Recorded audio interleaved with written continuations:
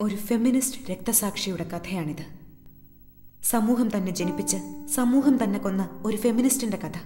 യൗവനത്തുടുപ്പിലെ എഴുത്തും വാക്കും സ്ത്രീപക്ഷ ചുവയുള്ളതായപ്പോൾ സമൂഹം അവൾക്ക് പേരിട്ടു. ഫെമിനിസ്റ്റ്.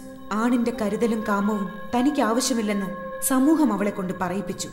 ഒടുവിൽ യൗവനത്തുടുപ്പുകൾ ചുളിഞ്ഞു തുടങ്ങിയപ്പോൾ യൗവന തീക്ഷ്ണരായ പുതിയ ഫെമിനിസ്റ്റുകൾ രംഗപ്രവേശനം നടത്തിയപ്പോൾ അവളുടെ വാക്കിനും എഴുത്തിനും പ്രേക്ഷകരില്ലാതെയായി. ഒരു കൈത്താങ്ങും അഭയമായി മിടിക്കുന്ന ഒരിടവും അവൾ കൊതിച്ചു തുടങ്ങി. പരിഗണനകൾ അവളെ അവഗണിച്ചു. പുച്ഛം എങ്ങു നിന്നും അവളെ ഗൗനിച്ചു. അവസാനം ഒരന്ധനായ വൃദ്ധഭിക്ഷാടകൻ ഭക്ഷണം യാചിച്ച് അവൾക്കരികിലെത്തിയപ്പോൾ അവൾ അയാളെ അകത്തേക്ക് ക്ഷണിച്ചു.